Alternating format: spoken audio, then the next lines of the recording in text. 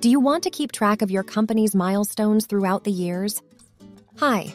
In this video, I'm going to show you how to create a timeline in your Google Slide presentation.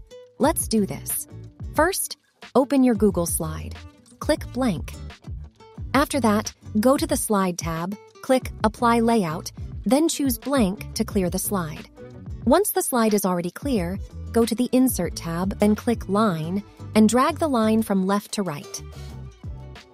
After that, go to the Insert tab, select Shape. Then choose Shapes. Select a specific shape for all the events within the timeline and drag it to the outline. Once you've created a timeline event icon for your template, select the specific shape and duplicate it for the other part of your outline. After that, go to the Insert tab and select the Callouts option. Then choose the rounded rectangle callouts. Drag it above or below the first shape you inserted, and repeat the process until you've populated the entire timeline.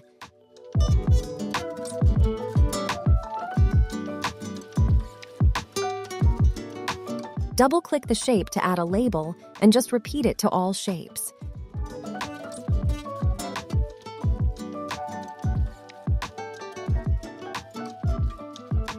You have already created a basic timeline template from scratch. Now let's make another one using the built-in diagrams in Google Slide. Let's add another slide. Go to the Insert tab in a drop-down below, click Diagram, then select Timeline. After that, in the right corner, a timeline window will open where you can choose your timeline template. So that's all for today's video. Hope you enjoy watching this video. If you did, make sure to hit the like button and subscribe to our channel for more. And if you have any suggestions for future videos, feel free to leave them in the comments below. Thanks for watching, and we'll catch you in the next one.